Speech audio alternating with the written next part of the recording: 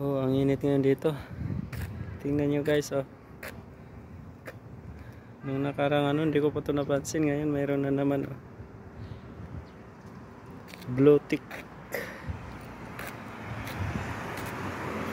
Ang ganda ng park, no? Sobrang linis.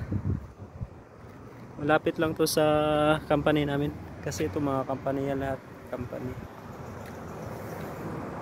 Yun oh, bus papuntang Seoul. Ah, sayang. Okay lang, nagbibideo naman ako. Yung mga company yan lahat. Doon. Yan. Yan company din yan. Dito may ano. Grocery store doon banda yung company namin. Lahat doon company yung lahat. Ito lang yung parang residential area dito. Paupahan. Anong tawag dito?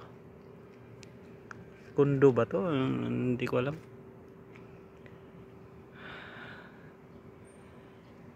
Tapos dyan may pwede dyan wala. May gym at saka mga billiards table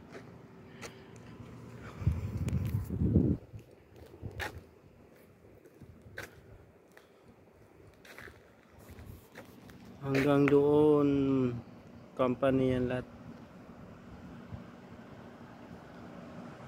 Ang ganda pa ng mga company dito no? Bagong bago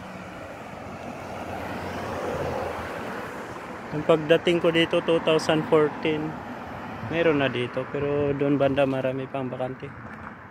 Pero ngayon punong puno na. Dito lang to sa Incheon 30 minutes papuntang airport.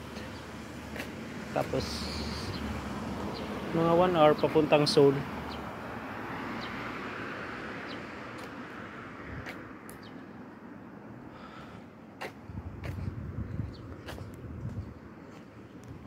Ang ganda dito magtambay pag gabi siguro.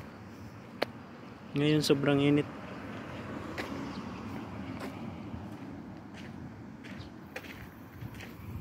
Tapos ang daming pabi, ano, tindahan dito ng mga tools.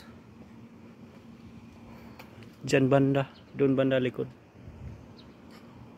Gusto mo mga equipment.